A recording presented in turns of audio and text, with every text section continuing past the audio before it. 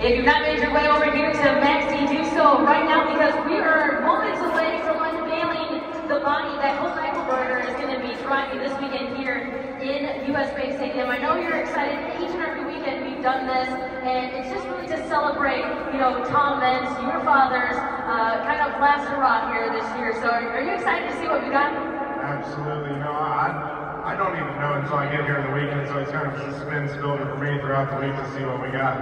I know, because it's kind of a little confusing. I mean, we've got different kind of branding here, so I'm excited. You ready to do the countdown? Absolutely. All right, we'll do from three and two, one. Let's see what Colt Eichelberger, driver of Max T's Fire. Looks like Max Fire. This has definitely got some history here, and it also has some history because for Max-D Fire. I mean, it ran through one of our special kind of Monster Jam events, Fire and Ice. So can you talk to us a little bit about this fiberglass body?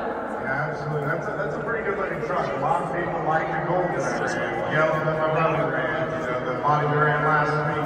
But this one's kind of got its, its own tone to it. It pops inside this big glass building that sun shining. It might look like the sun out there. It's definitely going to look awesome.